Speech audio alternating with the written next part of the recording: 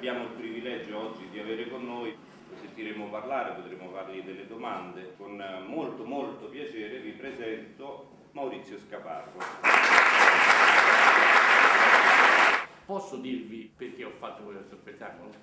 Perché lei rappresenta un esempio raro in Italia e nel mondo di attore donna, anche imprenditrice, solitaria. Cercate di sapere che nel vostro mestiere dovete sempre pensare di non essere soli. Non dimentichiamolo, che il teatro è una cosa imperdibile nella vita di tutti quanti. Vorrei ricordarvi una frase di Garzia Lorca, la cultura costa, ma l'incultura costa molto di più. Grazie.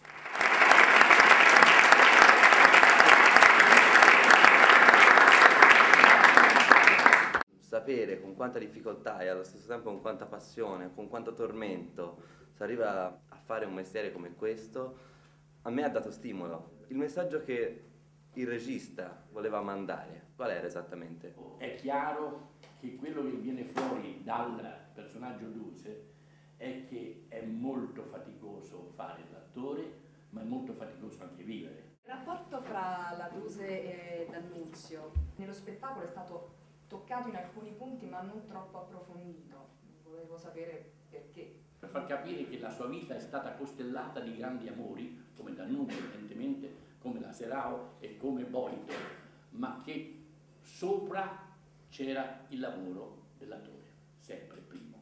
Sono rimasto molto colpito in, in alcuni punti dello spettacolo dalla trasmissione di immagini che la signora Guarnieri riusciva a dare al pubblico.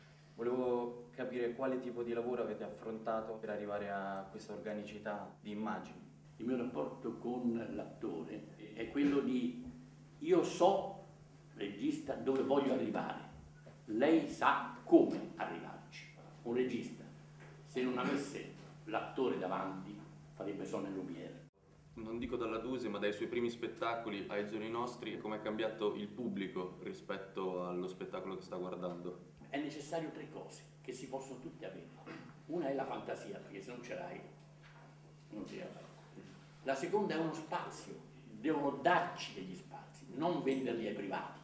Il terzo per cui si può fare il pubblico è il pubblico. Lavoro per il pubblico, non lavoro contro il pubblico, perché il pubblico c'è teoricamente, lo spazio ce lo, dobbiamo, ce lo devono dare e la fantasia se non ce l'avete penso per voi. Il teatro Valle occupato e io mi chiedevo mm, se lei condivide la filosofia che c'è dietro l'occupazione e quali sono secondo lei le conseguenze, se, se ce ne saranno, di, di, una cosa del genere.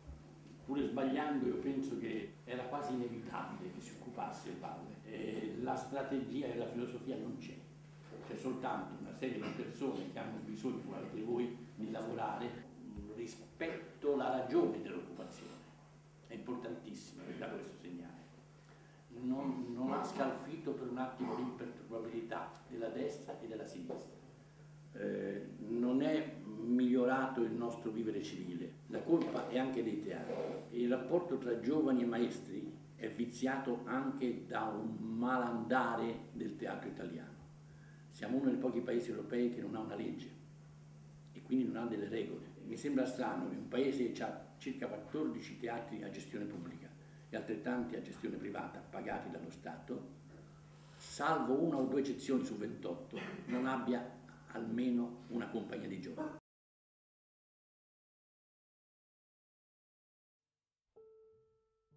C'è qualcosa in lei che fa pensare a un bambino, a un bambino deluso, dolente, immagino che questo dipenda dalla semplicità della sua arte.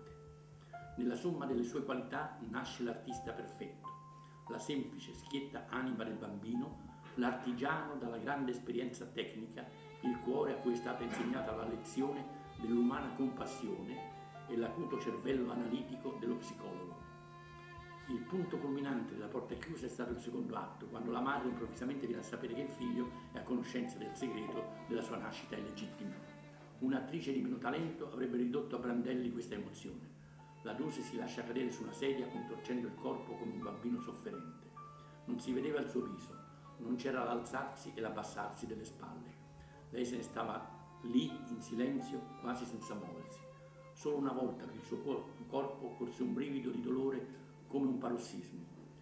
quello e l'improvviso raggrinzirsi del suo corpo davanti alla mano tesa del figlio erano i soli momenti visibili e per tuttavia immensa è la sua potenza drammatica e talmente grande è la sua conoscenza della tecnica drammatica che questa scena, scena quasi ti strazia il cuore. Confesso che ho pianto.